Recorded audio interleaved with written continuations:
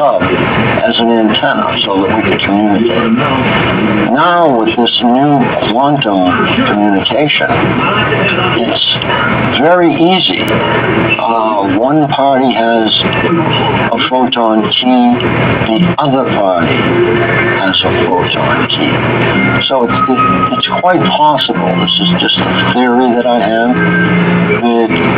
say the perpetrators had one key, a photon, and we are bombarded with the other keys.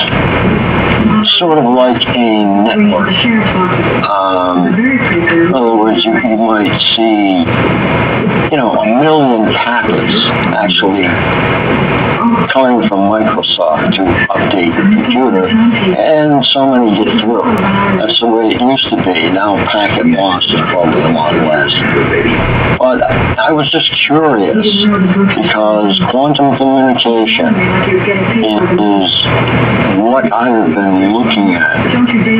And along with scalar waves, uh, what are your opinions